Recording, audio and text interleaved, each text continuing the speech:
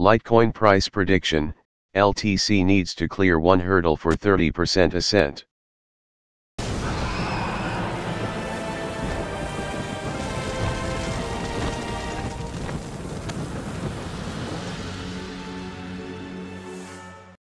Litecoin price has been on a slow and steady uptrend after finding a stable platform at $177.90.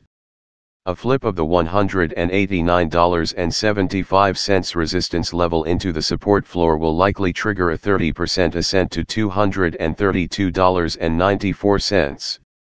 If LTC breaks below $163.89, it will invalidate the bullish thesis.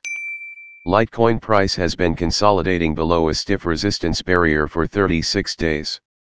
However, LTC seems to have mustered up the strength and is attempting to cross this hurdle and trigger a new uptrend. Litecoin price needs to clear crucial barrier. Litecoin price bottomed on September 28 at $139.80 and has rallied roughly 28% to where it currently stands, $180. Since October 4, LTC has set up distinctive higher lows, suggesting a steady uptrend. Moreover, it has also cleared the $177.90 barrier and is currently retesting the resistance level at $189.75. LTC has failed to breach this blockade thrice over the past month.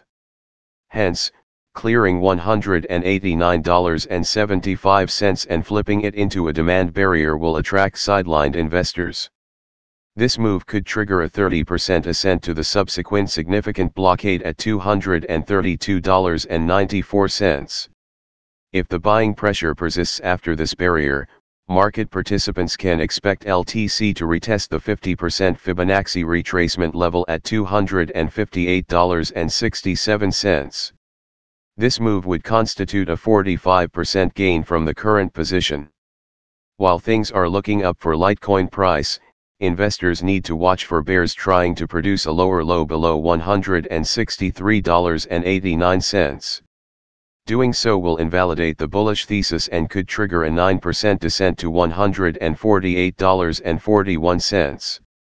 In some cases, this downswing might extend to $139.80, where LTC could form a double bottom and give the uptrend another go.